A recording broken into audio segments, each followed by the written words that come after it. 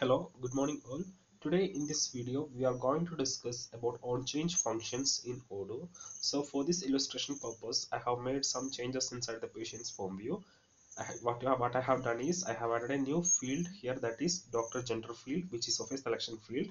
So what we are going to do in this video is that so once you change the doctor value here in the doctor field you have to set the gender of the doctor using the on change function so if you go to the doctors model so I will go to the doctors menu and if I open a doctor record you can see there is a gender field inside the doctor. So you can see Prashant doctor is a male and if I switch to Mitchell that is I have given the gender as female.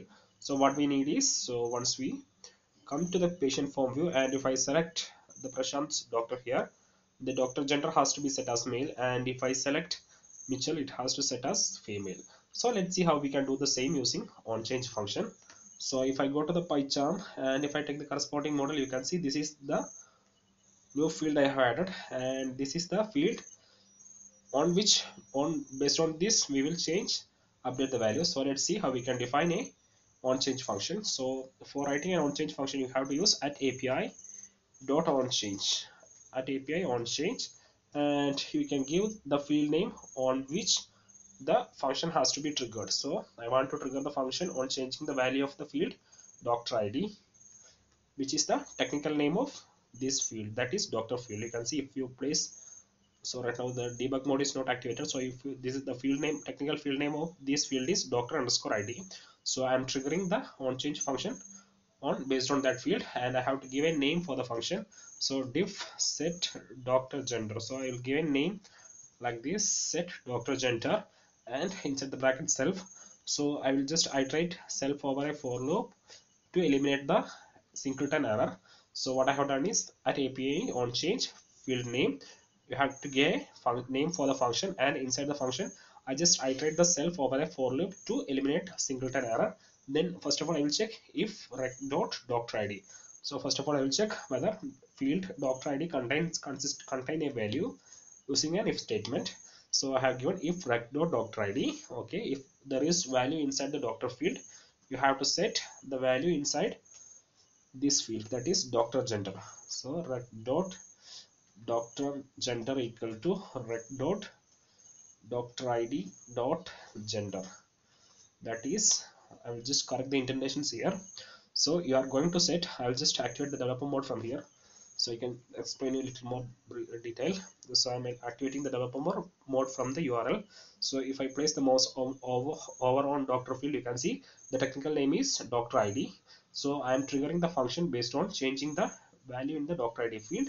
And inside the function I will check whether the doctor field contain a value. If doctor field contain a value I will set the value inside this field. That is doctor underscore gender that you can see we are setting value inside to the doctor gender. The value is rec dot doctor id doctor id is a many to one field you can see. If you place the mouse over you can see it's a many to one field of hospital dot doctor. So if I go to doctor you can see inside doctor you have a gender field. That is we are setting the value of doctor gender as gendered inside the doctor. Now I will restart the service as we have made changes inside the python. Now I will go to the apps and I will upgrade the module. So from the apps I will upgrade the hospital management module.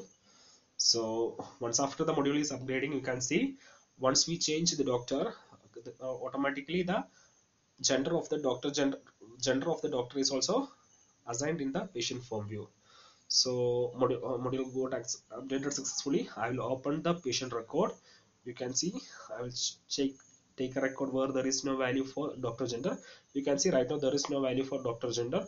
Now i will change the doctor to mitchell. You can see doctor gender value get updated. So if i put in a put a print statement here that is print something. Entering like that i will if i enter some value there and if i restart the service you can see this print get print inside the log. So I will again change the Mitchell to Prashant right now the doctor gender is female. If I change to Prashant you can see the doctor gender changed to male as well as you can see the entire string get in printed inside the log.